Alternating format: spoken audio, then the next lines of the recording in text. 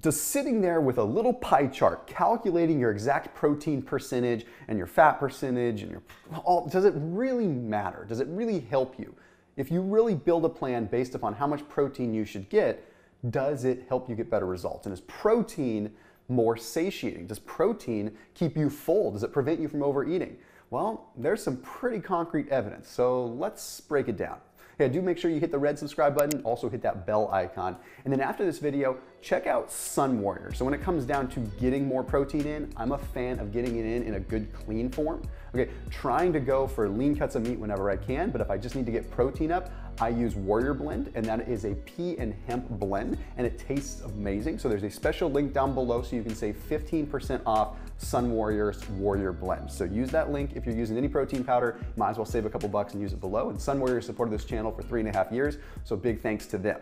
All right, so let's dive into this. So there's a lot of mixed opinions out there. Does protein prevent you from overeating? Does it keep you full? Does it really, should it really be the foundation of your dietary pattern.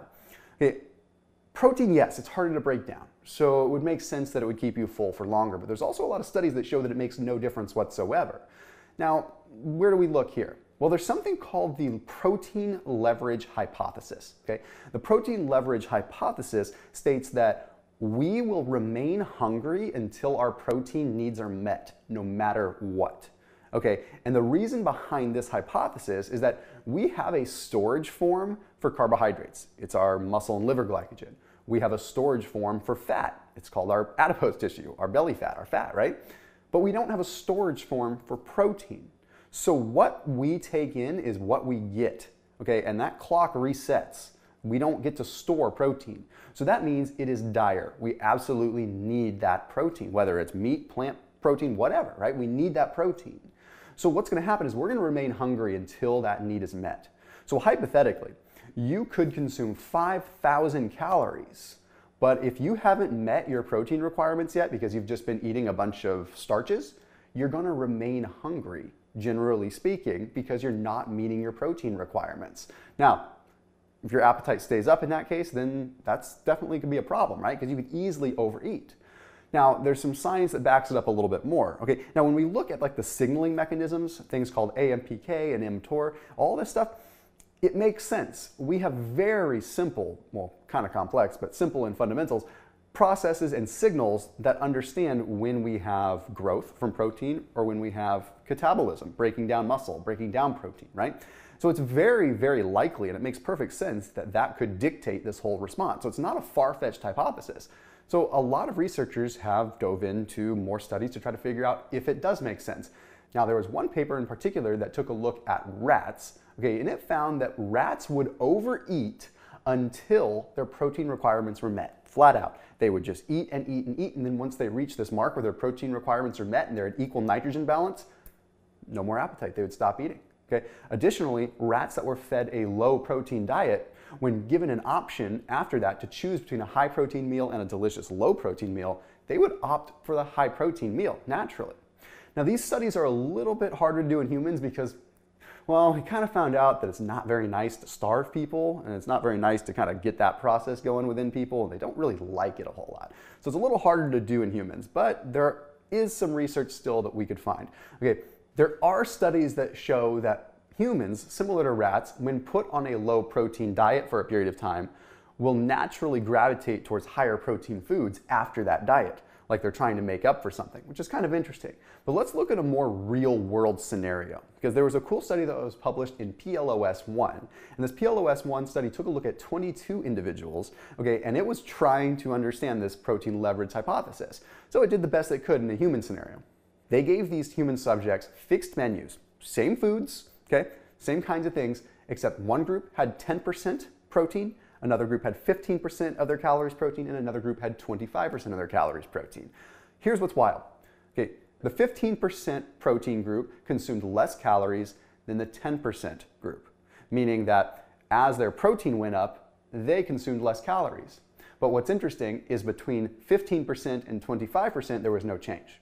So 10 to 15% was a change. 15 to 25%, it didn't change how much they ate. So what that implies and what that tells us is that there is a ceiling. There is a ceiling, and once we reach those protein needs, protein isn't doing anything extra good as far as satiating. And also as far as anabolism, building muscle. We'll talk about that in a second. So extra protein doesn't necessarily build more muscle, and extra protein doesn't necessarily keep you full longer. But that does not mean that you should not eat extra protein. By the way, coming back to the extra protein thing, again, I put a link down below if you want to check out SunWarrior. This isn't just a video for SunWarrior, but I might as well say that if I'm trying to get extra protein in, like after a workout or anything like that, I usually lean into it because it's clean and it tastes really darn good. Anyhow, there's a special link down below for Warrior Blend if you want to save 15% off of it check them out down below after this video. So now that we know that like 20, 25% of your calories coming in as protein it's likely your ceiling or ceiling-ish somewhere in there, well, what does that mean if you consume more protein? Well, we still have to remember that protein takes a lot to digest as far as calories. It is more metabolically active, if you want to call it that. And what I mean by that is 20% of the calories that come from a single gram of protein are allocated just towards the metabolizing of that protein. So it's still like you get more out of protein. So should you limit your protein to that 20, 25%? No, I think as far as body composition goes, it absolutely makes sense to still increase the protein. I don't think you can go wrong by having more protein. It's not detrimental, but you're certainly not getting more benefit from a satiation standpoint and also from a muscle anabolism, trying to build muscle. Once your protein needs are met, your protein needs are met. You don't need more above and beyond that. Excess is really just going to get recycled into different components. So generally, there are a lot of studies that break this down, and when you look at the general consensus, it's usually between 0.7 and 0.9-ish grams of protein per pound of body weight to meet your actual needs. So I know there's a lot of stuff out there that says you should be consuming two grams per pound and this and that.